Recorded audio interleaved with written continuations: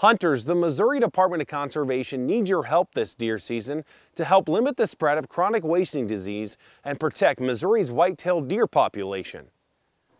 Chronic wasting disease, or CWD, is a fatal disease found in deer and other members of the deer family.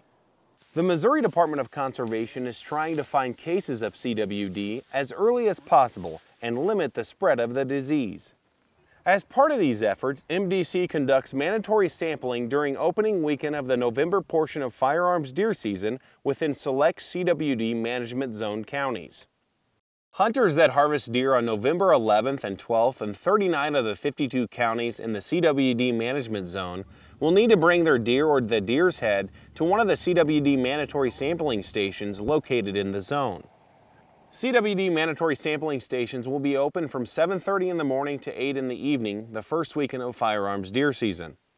To see a list of the 75 CWD sampling locations, pick up a 2023 Fall Deer and Turkey Hunting Regulations booklet or visit our website. Hunters that harvest a deer anywhere in the state during any portion of the deer season can voluntarily get their deer tested for CWD.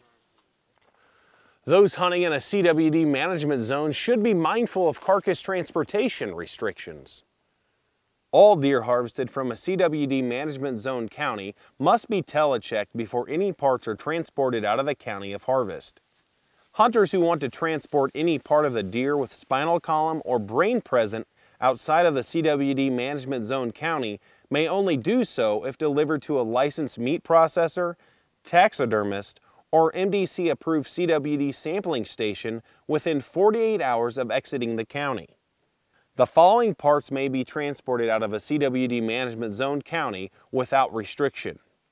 Meat that is cut and wrapped or that has been boned out, quarters or other portions of meat with no part of the spinal column or head attached, hides from which all excess tissue have been removed, antlers or antlers attached to skull plates or skull cleaned of all muscle and brain tissue, finished taxidermy products.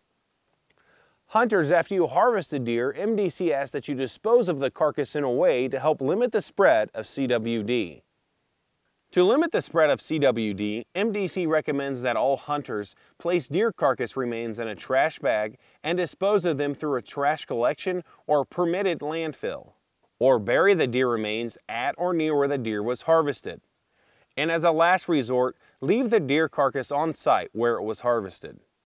For more information on firearms deer season and chronic wasting disease, pick up a 2023 Fall Deer and Turkey Hunting Regulations booklet or visit our website.